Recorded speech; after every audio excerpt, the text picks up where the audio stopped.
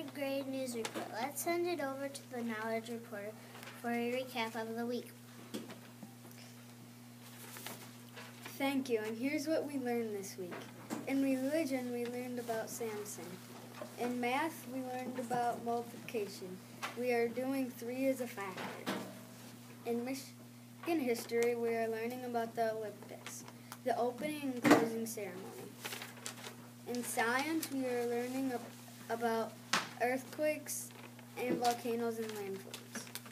In grammar, we are learning about adjectives. And in and in reading, we are learning about prefix, prefix and suffix. Now let's send it to the activity coordinator to see what things are coming up this month. Thank you, Knowledge Reporter. Here is what is coming up in the next few weeks. Candygrams start Monday. Valentine's Party is Friday, 1.30. Book Fair February 17th to the 20th. Winter Break February 21st to the 24th. Now let's send it to the anchor man for spelling and memory. Thank you, activity coordinator. Here is our spelling words. Don't forget you can find them on Spelling City.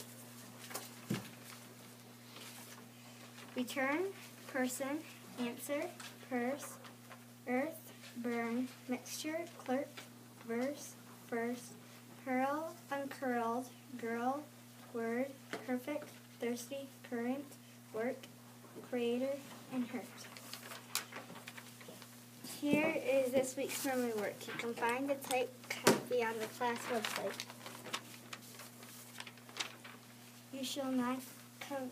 com- covet your, your neighbor's wife, nor his manservant or maidservant, his ox or donkey, or anything that belongs to your neighbor. What does this mean? You should fear and love God so that you do not intend or force, force or our neighbor's wife, workers, or animals, or turn them away, turn them against him, but urge them to stay and do their duty.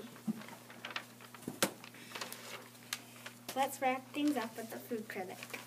Thanks. Here's what this is what is for lunch this week.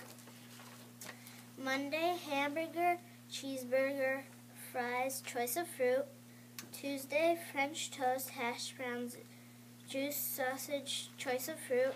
Wednesday, nachos with toppings, salad, choice of fruit.